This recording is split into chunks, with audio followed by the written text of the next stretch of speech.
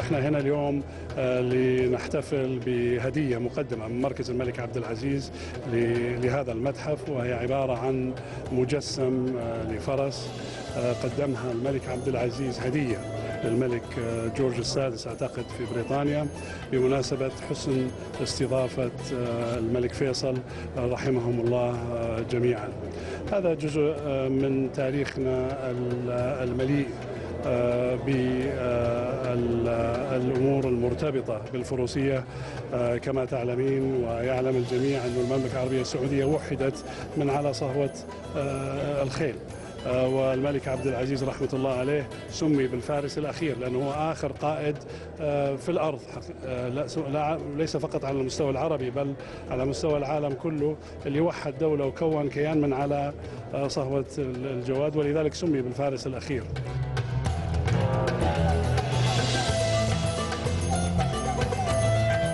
هي رمز للخيل العربية ورمز لتاريخ هذه الخيل في الجزيرة العربية وتبين اهتمام قادة هذه الدو- الدولة بالخيل العربية وبسلالاتها.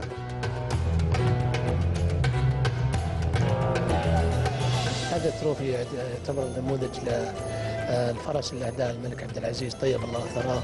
الملك الجورج السادس بمناسبه تعيينه ملك وحسن استقباله لجلالة الملك فيصل طيب الله ثراه.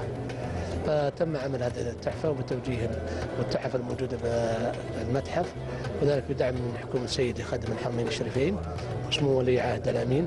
وبالمتابعة ومتابعه معالي وزير البيئة والمياه والزراعة رئيس آه، مجلس الإدارة مركز الملك عبد العزيز.